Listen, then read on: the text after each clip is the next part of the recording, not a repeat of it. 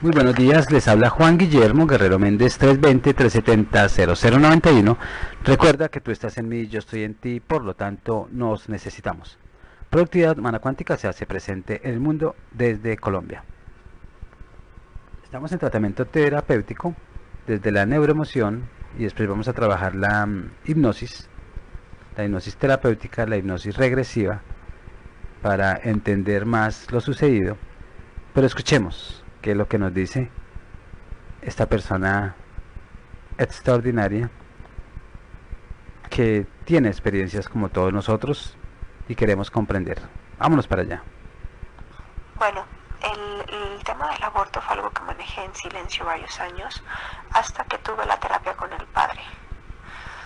Este, pero pues ya fueron varios años después, fueron en el 2011. Pero hasta antes de eso, eh, nadie. Y bueno, ya después de eso, en el momento en el que formalizo las, que ya se está viendo que se está formalizando todo con mi esposo, que yo estoy pensando en decirlo y cómo y bla bla, es que decido ir a contárselo a mi hermana. Este, porque a mi hermana, pues porque me, me nació, me inspiró, pues porque es mujer, porque es mamá, porque eh, ya está casada, este, pues porque me llevan nueve años, casi diez, este, porque quería contárselo y, y compartirlo y, y, escuchar, ¿no? También su opinión. Y pues bueno, fue una plática bonita y, y fue, pues sí, realmente me hice, me hice este, que, que, bueno, tú es tuyo y obligación de decirlo o no decirlo, o sea, tú no tienes con nadie y pues bueno, los hombres son muy este así, así, así, pues claro que a lo mejor va a ser más difícil para él de esta forma. Está bien, o sea, no importa, bueno, fue una plática larga y, y bueno, pues ya ahí también yo expresé mucho y saqué mucho, ¿no? Con esa plática. Y, y ya, y hasta hace poco, este, ya con, me pasó lo del cáncer y todo eso, eh, se lo platicé a mi hermano, también a mi hermano el mayor. Son a las dos únicas personas y pues también fue como este padre. Eh, que, que, bueno, es, es como este un, un, poco la perspectiva, no sé, un poco diferente, ¿no? De, de hombre a mujer, pero yo a él lo quiero muchísimo y le tengo muchísima confianza y, y también igual sentí como estábamos hablando de, de, cómo me sentía y todo y pues se lo conté. Y bueno Alejandro este él, él se supone que esto lo sabe él nada más y bueno mis dos hermanos pues son mis, mis dos hermanos y ya esto yo no se lo he contado a él ni nada y, y, y pues así es así es como, como actualmente está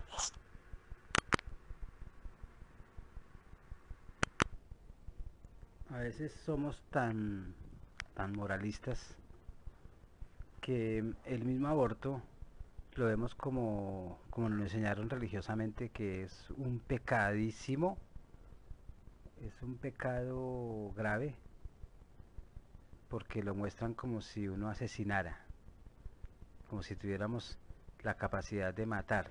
Pues sí la tenemos por instinto, pero solo para sobrevivir. El aborto se dio empezando eh, por sobrevivir. Uno sabe que no es el momento y si no lo sabe el inconsciente lo, lo entiende. Uno sabe que de pronto la persona que está con uno no es la que debe de ser.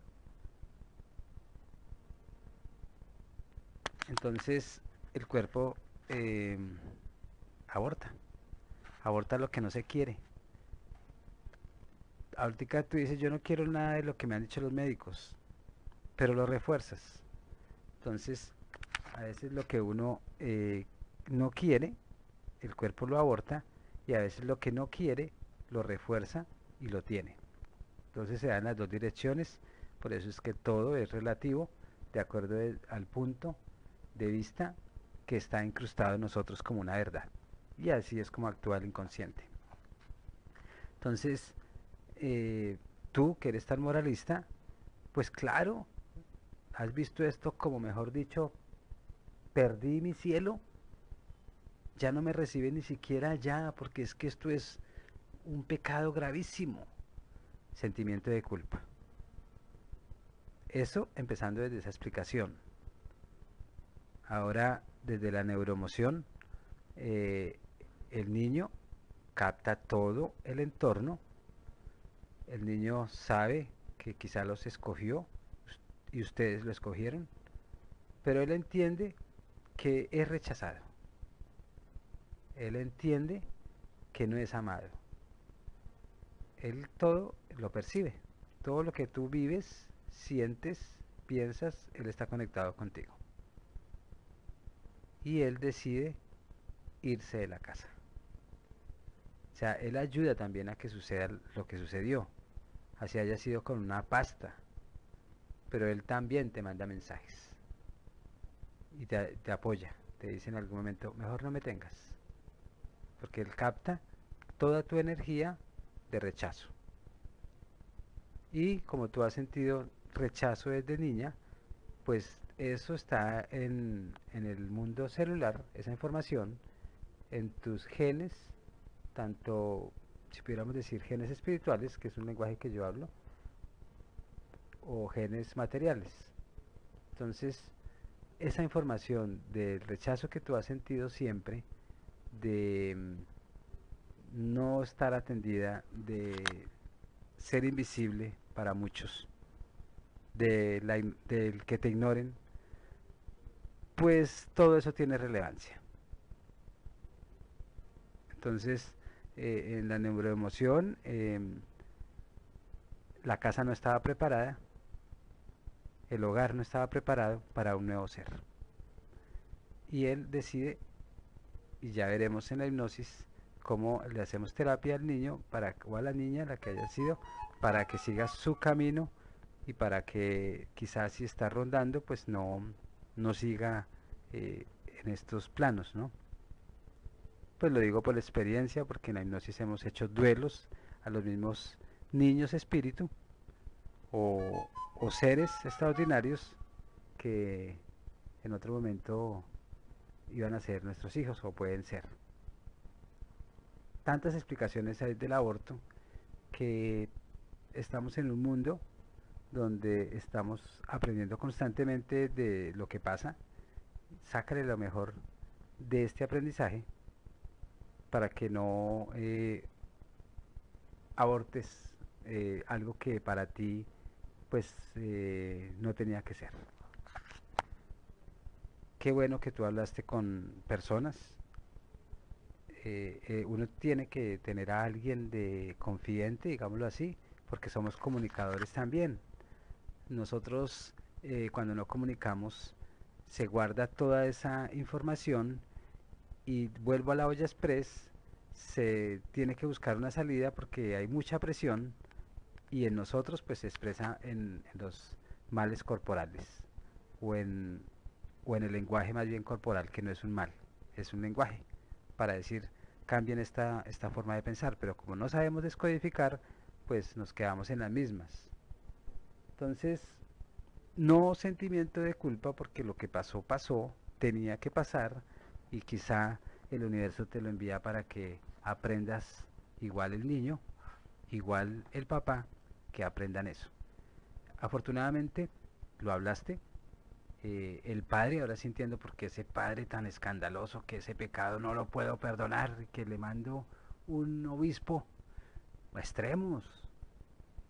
O sea, eh, eh, lo que tú dices, de verdad no hay que perdonar para el universo. Esto es simplemente un aprendizaje, no más. Allá no existe el mal, allá no existe esa parte de caótica, allá no existe em, en ese plano, ¿no? No existe el señalamiento, es uno el que se señala y el que si se lleva eso, pues allá va a sufrir, allá va a estar en su caos. Entonces, em, si lo contaste a tu esposo, pues estuvo muy bien. Y él, si lo entiende, pues es cuestión de su propia comprensión, de su propio mundo. ¿Se le entiende? Eh, no todos los hombres entendemos eso, otros sí. Entonces, si nosotros nos damos cuenta, eh, hay, hay momentos donde, mm, donde ya, por lo menos en esta época, somos conscientes de la historia de alguien y a muchos no nos gustaría solamente que se repitieran con uno mismo, ¿no? O sea, eh, si a mí me dice una mujer, yo quise abortar por ciertas situaciones, pues según la madurez, el grado de madurez, uno responde. Porque a veces el machismo en muchas culturas se opone a eso. Pero son chips, son costumbres, son pensamientos. Entonces, no, eh, qué bueno que lograste hablar. Ya el sacerdote verá qué hace con su conocimiento y con su historia. Tu hermano y tu hermana también, qué hace con comprender y tu esposo. Y ahora yo. Lo importante es que tú te sientas libre de algo que querías decir. Lo importante es, mejor dicho, tú, no nosotros. Que nosotros opinemos, sí, fenomenal. Todas las opiniones sirven. Pero lo importante en este proceso es que eh, tú no te sientas la más mala ni la más desgraciada, etcétera, etcétera, sino que tú entiendas que esa parte de tu historia tiene una razón de ser y esa razón de ser te hace mejor, no perfecta. O sea, lucha, o sea, lucha no, sino no busque la perfección. Nosotros mutamos, el universo muta, no, no está todavía construido, lo estamos construyendo. Entonces siempre va a cambiar todo. Estos son construcciones mentales más que espirituales, el señalamiento. Entonces, siéntete tranquila porque nadie te va a juzgar. Que los hombres lo hagan son las mentes de los hombres. Pero cuando tú te des cuenta el día que salgas de este mundo, nadie te juzga a no ser que tú quieras ser juzgada. Si tú te juzgas, pues automáticamente la gente te va a juzgar porque pues capta.